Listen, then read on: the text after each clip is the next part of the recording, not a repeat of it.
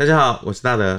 大家好，我是老谭。老谭前一集说了国军如何失去中原，提到了八路军多次南下，特别是玉溪这一地带啊。是我们发现呢，台湾过去呢，其实在对发生在中原的战役的，大家比较清楚的还是徐蚌会战这一段。对淮海战役，淮海战役，那也很多故事是我们没有听过的。老谭这一集应该还是有一些小故事要跟大家分享吧。国军其实他失去中原、失去河南，它的过程是非常的复杂。那我们前一集呢，是以河南的黄河以南，也就是河南的河南为主。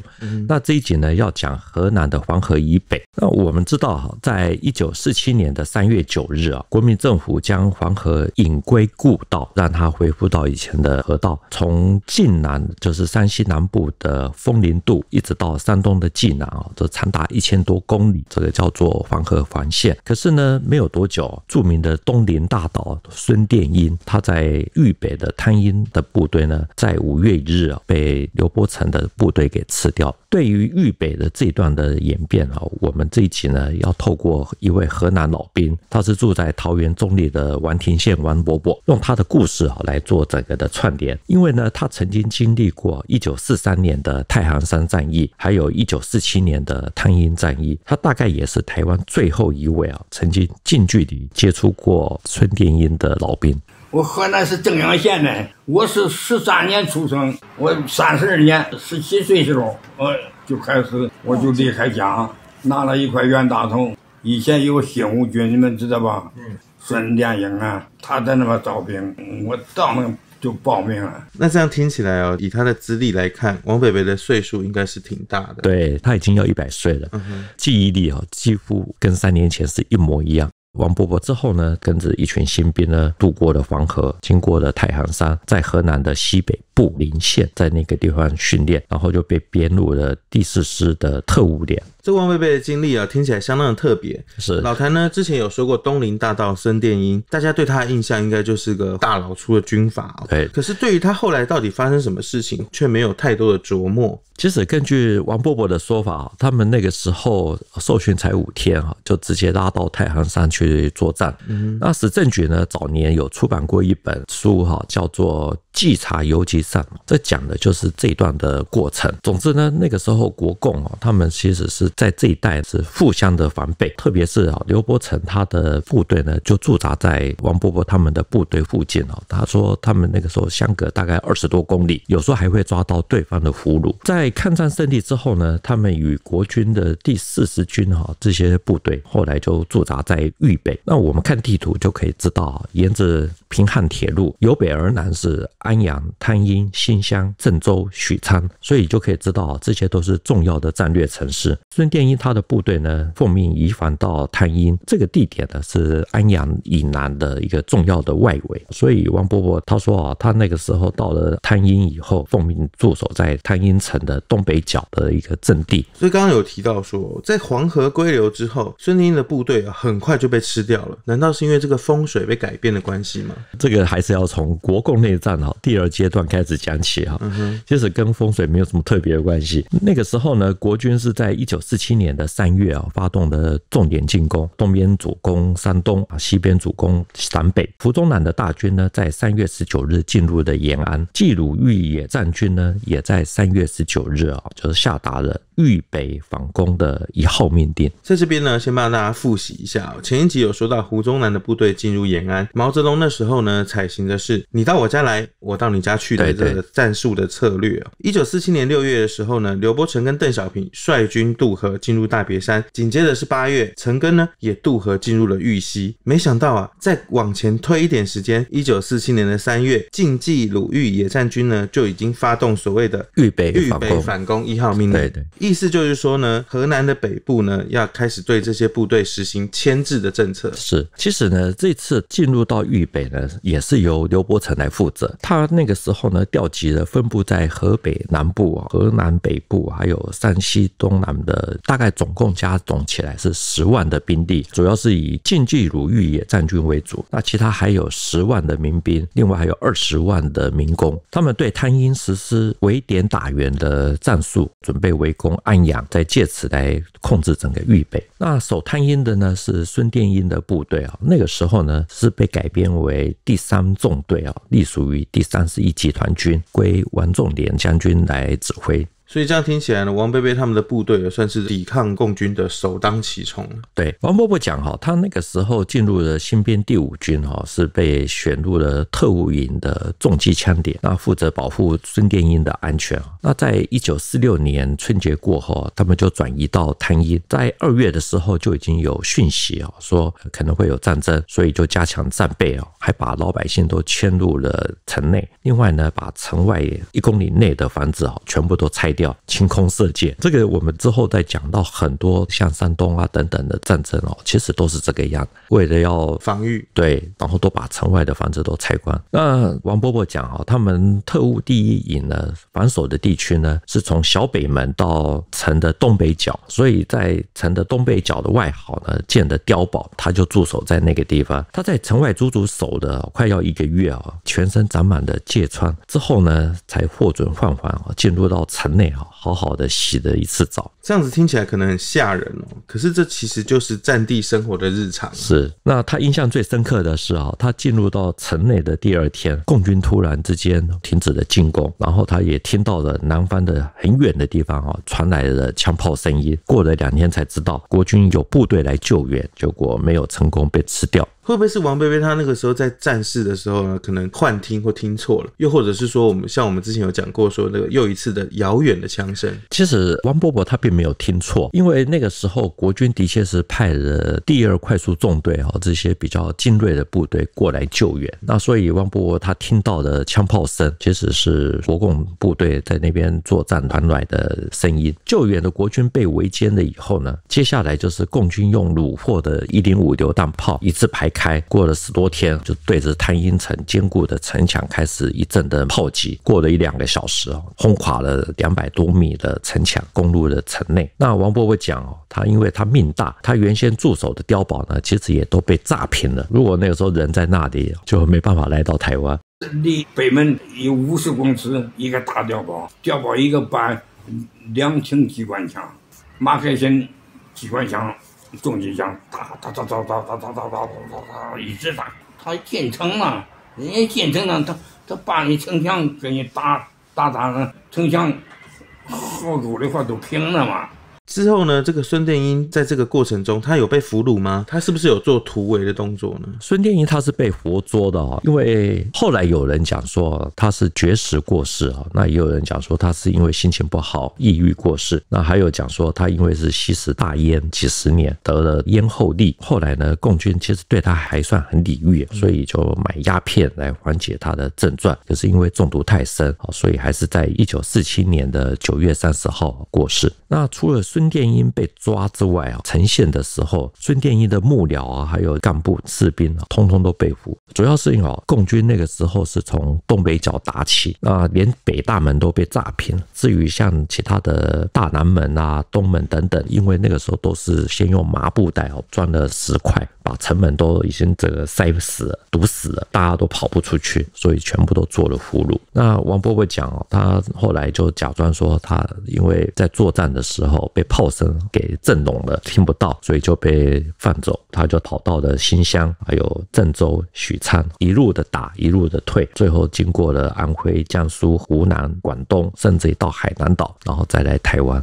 所以这个王贝贝啊，他应该是这个见过大江大海的老兵哦。是，而且呢，一路跟着国军，就像我们之前说过这几集一样，基本上感觉他都有参与过了。那老谭这一集呢，应该是要说这个河南北部的变化。不过呢，让我们好奇的就是说，这个王贝贝竟然还当过魏军哦，是，这到底是怎么一回事？其实王贝贝讲哦，他这一路打过来啊，他觉得最真枪实弹的还是在探阴，也是最要人命的。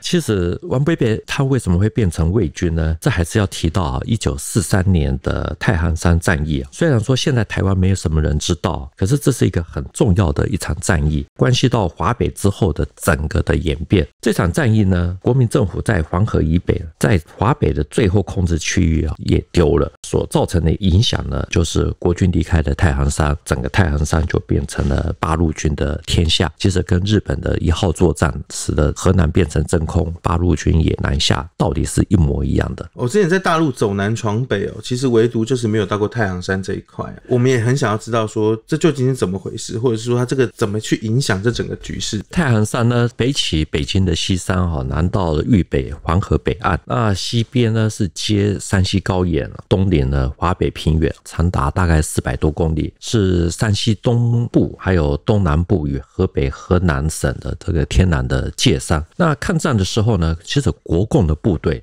都在这个地方，那既联合又斗争可是呢，随着时间的推演，双方的关系啊，其实是越来越恶化，甚至还会相互的攻击。那王伯文呢，他为什么会从国军变成魏军呢？主要是哈，因为一九四三年的五月啊，日军对太行山的国军呢进行了总攻。那为了要阻止入侵的日军，那孙殿英那个时候派遣王伯伯他所在的特务营。去临县东边的一个重要的关隘啊，叫做水治，去那边还手。他说他在那边打了三天哈，因为没有水哦，所以那个机关枪其实是很不好使用的。那成功阻止了来犯的日军。他们在阻挡的日军的进攻之后呢，他们收到了下山的命令啊。王伯伟讲哦，因为太行山的生活实在是太苦了，所以他们后来远远的看到了平原中的安阳城，大家都高兴的不得了。然后呢，到了集结地就是新乡啊。却发现说，他们的军长啊，也就是新五军的孙殿英，还有第二十四集团军的司令哦庞炳勋，都宣布投靠了汪精卫。这听起来相当戏剧性哦，莫名其妙的变成和平军哦。这个庞炳勋又是谁啊？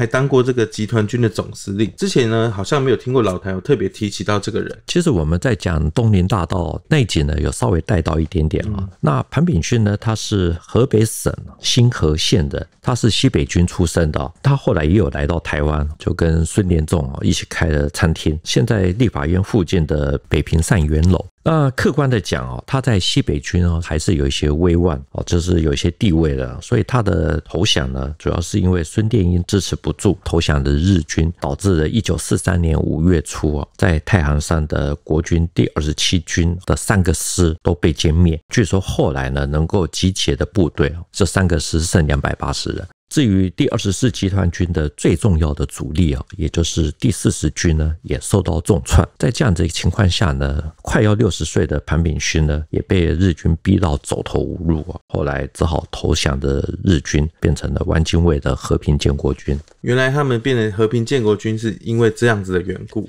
其实也有资料说哦，蒋介石那个时候有写信给庞炳勋，希望说他能够委曲求全。这个目的其实是要保全部队。之后呢，庞炳勋在监控之下呢，真的是开始跟国府哦有保持很好的关系。那他甚至于还曾经想要以演习的名义，准备把部队哈拉回到黄河以南，只是因为计划外泄，所以没有成功。那一直到了一九四五年抗战胜利啊，所以他才重新回到国府的怀抱。所以难怪啊，这个王贝贝他们在抗战胜利之后驻扎在安阳、新乡、汤阴这一带，都是黄河以北的地区嘛，对不对？对，原来是有这样子的一个地缘关系。是，可是呢，老谭。刚刚也有讲到说，这场战役啊造成的影响是国军离开了太阳山，使得这个太阳山呢变成这个八路军掌握的情况，这又是怎么回事？从抗战开始以后呢，一九三七年啊，日军在进攻山西，那阎锡山呢他是山西王，那本来都是不准大家进入他的地盘，那结果那个时候阎锡山就同意说，中共的八路军呢可以派三个师渡过黄河进入山西，其中呢八路军第一二九师呢是由刘伯承率领的，他在山西。的东南呢，建立了晋东南根据地啊，之后再扩张变成了晋冀鲁豫边区。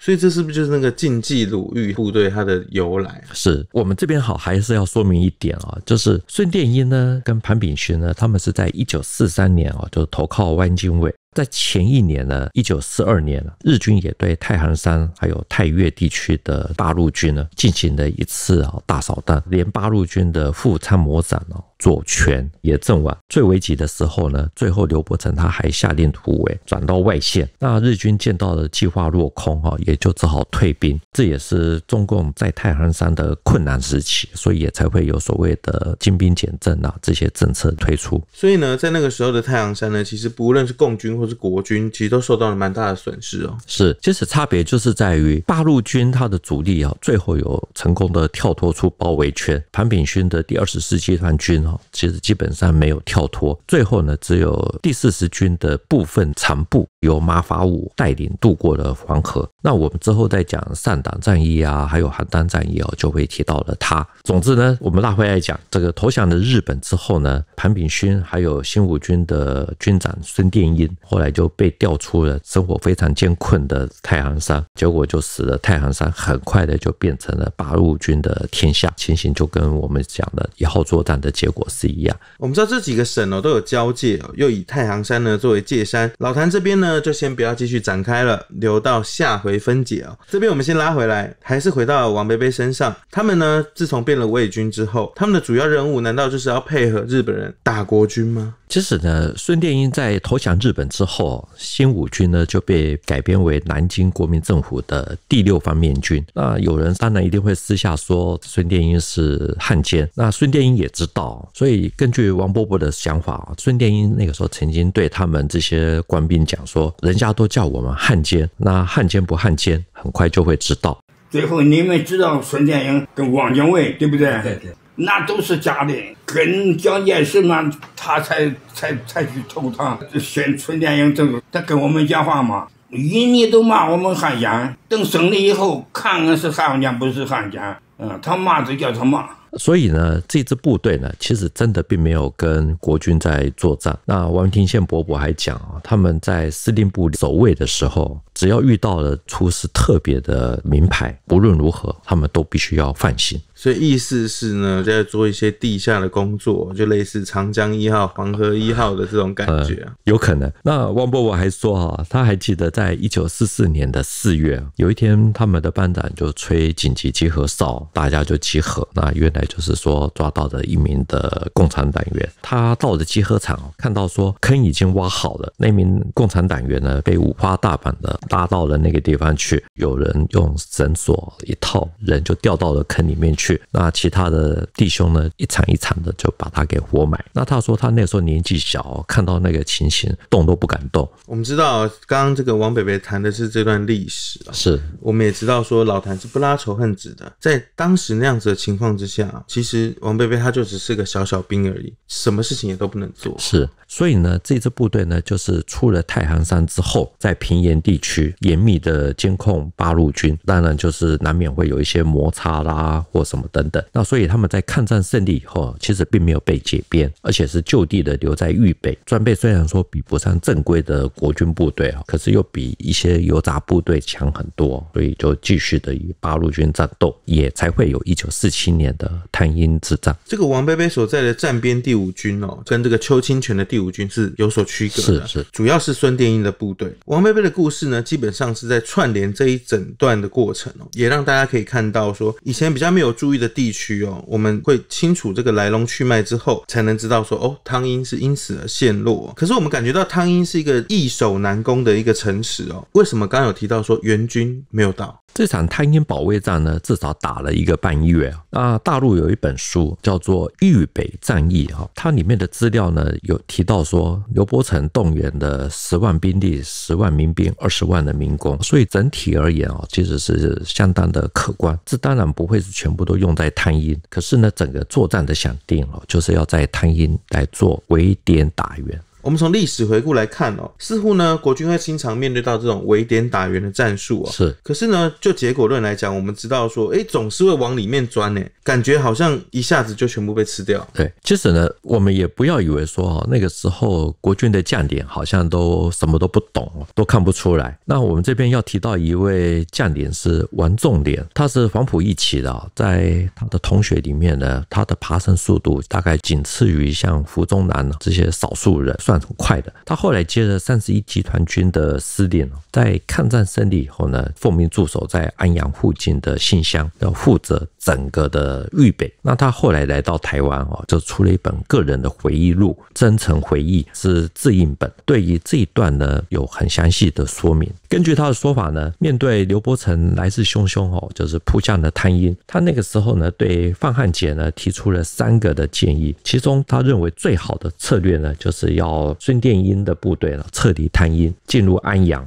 开会的时候呢，多数的参谋其实也都主张这个案子，可是范汉杰呢都不赞同，要孙殿英继续的固守滩阴，而且还派整编第三师、整编第四十九旅，也就是第二快速纵队，还有整编第三十二师哈，这三支部队要去增援。看起来呢，派了两个整编师跟一个快速动队去救援，并没有见死不救。没有错，可是王作年讲哦，这样子的做法要去九十公里外的滩阴去救援，恐怕还没有到一沟以南的地区哦，他们左侧呢就会铺路，后方也没有强力的预备队。不仅救不了滩阴，而且还会陷入到对手的陷阱，重蹈他在一九四五年十一月北上救援码头镇啊失利的覆辙。所以从来都没有不败将军哦，只有会检讨的将军哦。对，王仲年确实看得蛮透彻的，其实有吸取到教训。王仲年讲啊，他提了这个案子以后呢，他被范汉杰骂胆怯懦弱，他一激动就说：“哦，这个不是胆怯哦，不是怕死，这个很明显就是刘伯承在围点打援的陷阱。那我们为什么要？”要掉入人家设好的圈套，最后呢，经过了协调，调动增援的部队呢有所改变。可是呢，他还是觉得啊这样子不妥，所以又私下的打电报给孙殿英，要他彻底探阴。主要是因为王仲年他认为啊，就是刘伯承在这个时候不会打持久战。如果把所有的部队哦集中保安阳，刘伯承只要打超过一个月哦，等于说就被牵制住了。那这个时候国军在徐州方面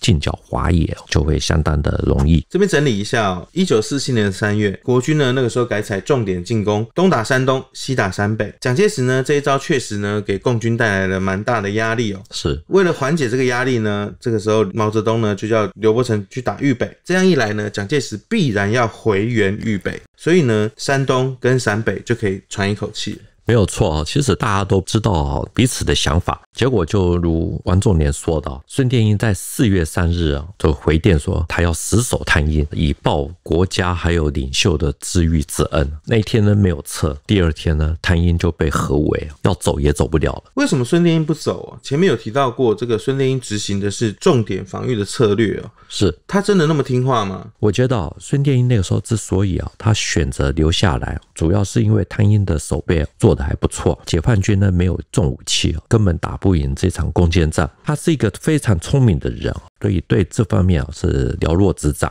与孙殿英有过接触的王仲年呢，也在他的回忆录里面哦特别提到了孙殿英这个人，说他头脑好的不得了，虽然是出身贫寒，不认识字。可是他打麻将的时候，只要摸过四千，就可以从那个牌的背面辨认出一百多张牌的三分之一的这个花色。打掷骰子、推牌九，要几点就几点，神乎其技。这样听起来真是一个奇葩的军阀哦。应该是讲说，孙殿英过去啊，与八路军也有一些互动哦，所以也很清楚对方缺乏重武器啊，所以大概知道对方的弱点。再加上呢，他也到了滩阴以后，就像我们前面提到的，把城外的房屋都拆了，哦，加建碉堡啊，什么等等，所以他知道八路军是不太可能瞬间就拿下，更何况还会有其他的部队来救援。只是没有想到说牌桌上很厉害的孙殿英哦，其实他这一把好像没有赌对。对。王仲年说：“哈，孙殿英没有彻底贪阴，等到四面被合围了以后，每天来电报要求援助。那范汉杰呢？这个时候已经到了极限，在这边设置了指挥所，调动部署。那采用的是他之前给的三个建议里面的丙案，也就是最下策。那整个的细节就不说了。总之呢，国军的援军呢，那个时候是分左、中、右三翼并进。那左翼受阻，中央纵队呢就遭到了迂回。那后来有一个里呢，接近到了滩阴，大概三公里不到，看情形不对啊，就只顾后退，导致了右翼的第四十九旅呢，也就是第二快速纵队呢，被击破，只有一个团跑了出来。结果呢，刘伯承得到了这些重武器以后呢，就打下来对付汤阴。当然就是孙殿英被打垮了，接下来就是直接转向安阳。这个时候呢，王仲年讲哦，他说还好整编第四十师的师长呢李正清及早的把安阳外围的这些据点呢全部都撤离，把部队还有地方团队这些全部都集结在城郊，再用火力来逆袭，最后逼得刘伯承哦放弃，就回到了鲁西。可是呢，经过了汤阴这么一打之后呢，整个豫北就只剩下了安阳还有新乡这两两个孤岛。从此以后呢，国军在黄河南北的主动的态势呢，就变成了被动的局面，影响了整个的大局。在这个汤阴之战哦，其实出现了蛮多的变数，甚至出现了有国军将领呢对于这个救援与否产生了争议。如果只用王仲年的回忆录来看呢，会不会太片面？那老谭你是怎么看？其实大陆对豫北战役哈也有出了两三本的专书，那其中有一本呢是比较近期的，它里面有一篇是写到王仲年在汕头的严令督促下，沿着平汉铁路北上。到了四月十日啊，在伊沟以南呢，就发现了刘伯承的主力立刻南退，刘伯承并没有捕捉到。可是呢，刘伯承就研判国军还会再来救援，所以就重新布置好口袋，用移动防御的战术呢，准备要诱敌深入。那果真呢，王仲年呢又被严令北上来救援。那这次呢就没有那么的幸运。在四月十六日哈，国军的精锐，也就是第二快速纵队，推进到了宜沟车站的东南，发现不对，那王。重点就下令撤退，可是已经来不及了。到了第二天哦，第二快速纵队哦，整个的覆没。所以有两边的说法交互比对之下，其实整个局面就如同王仲林他所设想的一样哦。